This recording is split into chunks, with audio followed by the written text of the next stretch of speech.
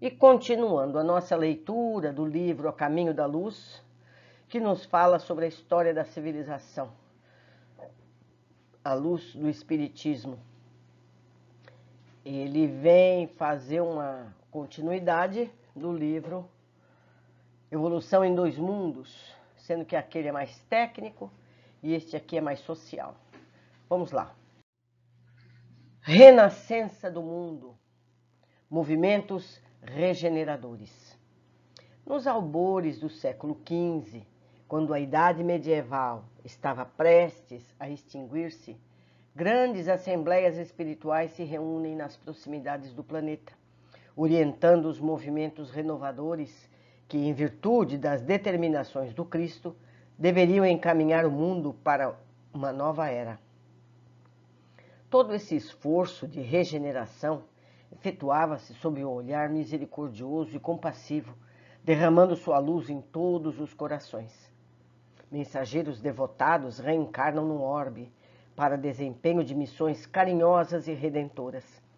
Na Península Ibérica, sob orientação da personalidade de Henrique de Sagres, incumbido de grandes e proveitosas realizações, funda-se escolas de navegadores que se fazem ao grande oceano em busca de terras desconhecidas. Numerosos precursores da reforma surgem por toda parte, combatendo os abusos de natureza religiosa. Antigos mestres de Atenas reencarnam na Itália, espalhando nos departamentos da pintura e da escultura as mais belas joias do gênio e do sentimento. A Inglaterra e a França preparam-se para a grande missão democrática que o Cristo lhes conferira. O comércio se desloca das águas estreitas do Mediterrâneo para as grandes correntes do Atlântico, procurando as estradas esquecidas para o Oriente. Jesus dirige essa renascença em todas as atividades humanas, definindo a posição dos vários países europeus investindo, cada qual com determinada responsabilidade, na estrutura da evolução coletiva do planeta. Para facilitar a obra extraordinária dessa imensa tarefa de renovação, os auxiliares do Divino Mestre conseguem ambientar na Europa antigas invenções e utilidades do Oriente, como a bússola para as experiências marítimas e o papel para a divulgação do pensamento. Missão da América. O Cristo localiza então na América as suas fecundas esperanças. O século XVI alvorece com a descoberta do novo continente, sem que os europeus, de modo geral, compreendessem na época a importância de semelhante acontecimento. As riquezas fabulosas da Índia deslumbram o espírito aventureiro daquele tempo e as testas coroadas do velho mundo não entenderam a significação moral do continente americano. Os operários de Jesus, porém, abstraídos da crítica ou do aplauso do mundo, cumprem os seus grandes deveres no âmbito das novas terras. Sob a determinação superior, organizam as linhas evolutivas das nacionalidades que aí teriam de florescer no porvir. Nesse campo de lutas novas e regeneradoras, todos os espíritos de boa vontade poderiam trabalhar pelo advento da paz e da fraternidade no futuro humano e foi por isso que, laborando para os séculos por vindouros, definiram o papel de cada região do continente, localizando o cérebro da nova civilização no ponto onde hoje se alinham os Estados Unidos da América do Norte, e seu coração nas extensões da terra farte e acolhedora, onde floresce o Brasil, na América do Sul. Os primeiros guardam os poderes materiais, o segundo detém as primícias dos poderes espirituais, destinadas à civilização planetária do futuro. O plano invisível e a colonização do novo mundo. Após a descoberta da América, grande esforço de seleção espiritual foi levado a efeito no seio das lutas europeias, no intuito de criar no novo mundo um outro sentido de evolução. Se os colonizadores da região americana, nos primeiros tempos, eram os degredados ou os proscritos das sociedades europeias, importa considerar que esses colonos não vinham tão somente das grandes capitais do antigo continente, na exclusiva observância do plano material. Do mundo invisível, igualmente, partiam caravanas inúmeras de almas de boa vontade que encarnaram nas terras novas como filhos daqueles degredados, muitas vezes perseguidos pela iniquidade da justiça dos homens. A esses espíritos mais ou menos adiantados, alinharam-se numerosas entidades da Europa, cansadas das lutas inglórias de hegemonia e de ambição buscando a redenção no esforço construtivo de uma nova pátria em bases sólidas de fraternidade e amor, originando-se desse modo entre os povos americanos sentimentos mais elevados quanto à compreensão da comunidade continental.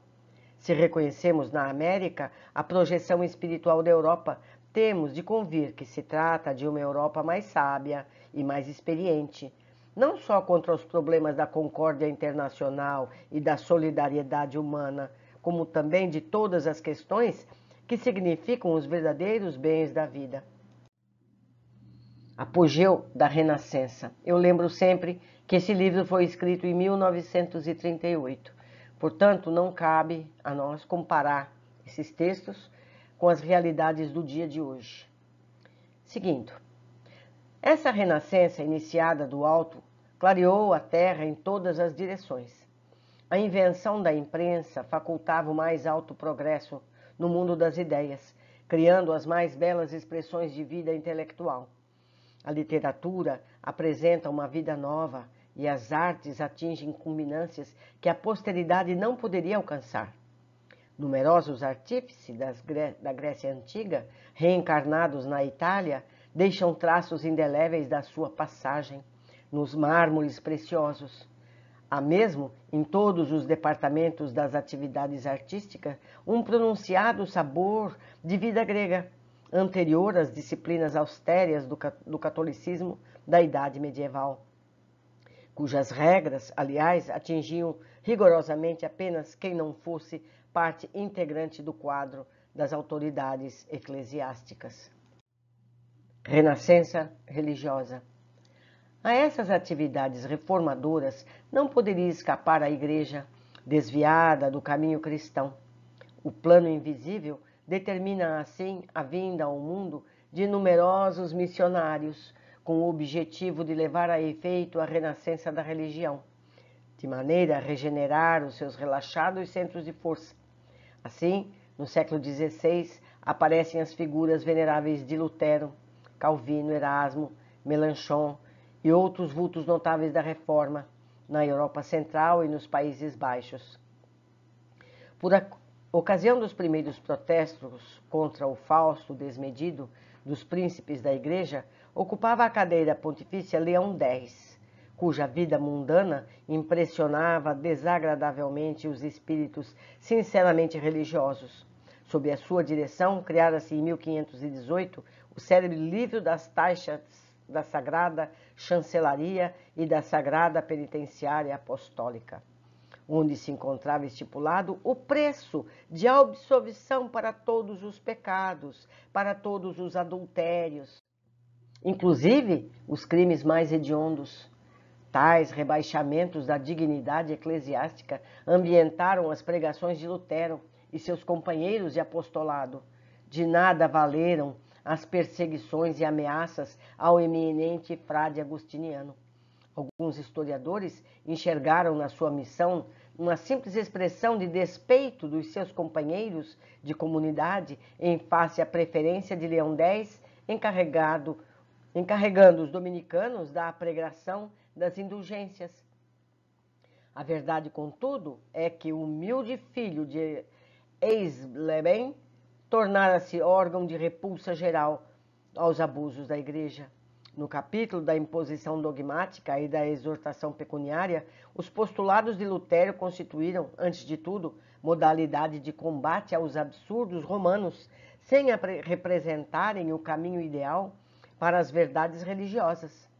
Ao extremismo do abuso, respondia ao extremismo da intolerância, prejudicando a sua própria doutrina mas o seu esforço se coroou de notável importância para os caminhos do porvir. A Companhia de Jesus.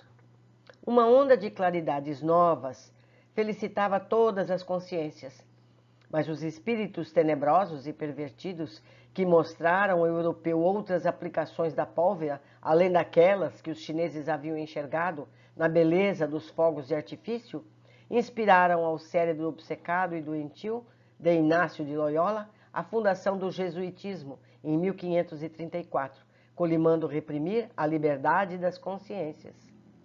A Igreja, estendendo mão forte a essa ideia, inaugurava um dos períodos mais tristes da história ocidental o Tribunal da Inquisição, com poderes de vida e morte nos países católicos. Fez milhares e milhares de vítimas, ensombrando o caminho dos povos. Espetáculos sangrentos e detestáveis verificavam-se em quase todas as grandes cidades da Europa.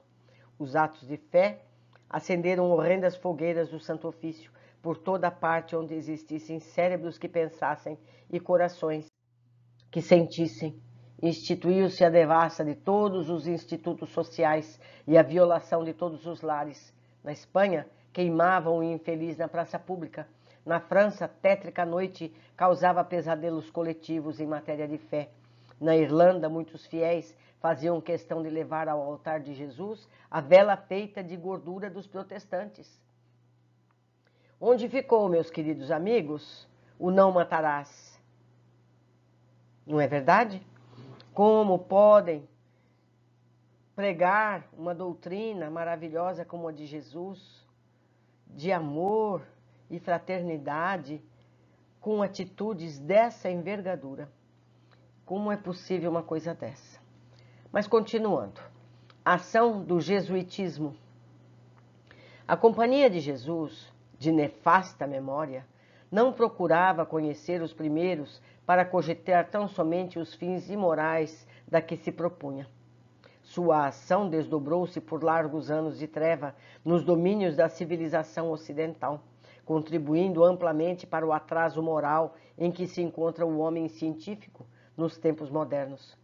Suas hordas de predomínio, de cupidez e de ambição não martirizaram apenas o mundo secular, também os padres, sinceros, sofreram largamente sobre a sua preponderância nefasta. Tanto assim que, quando o Papa Clemente XIV tentou extingui-la em 1773, com o seu breve Dominus et Redemptor, exclamava, exclamava desolado: Assino minha sentença de morte, mas obedeço à minha consciência. Com efeito, em setembro de 1774, o grande pontífice entregava a alma a Deus no meio dos mais horrorosos padecimentos, vitimado por um veneno letal que lhe apodreceu lentamente o corpo. E sabemos de histórias mais recentes que seguiram essa razão, esse motivo, não é verdade? Muito triste. Nós humanos ainda temos muito o que aprender. Meus amigos, terminamos esse capítulo e eu aguardo todos vocês com muito carinho no próximo. Um abraço.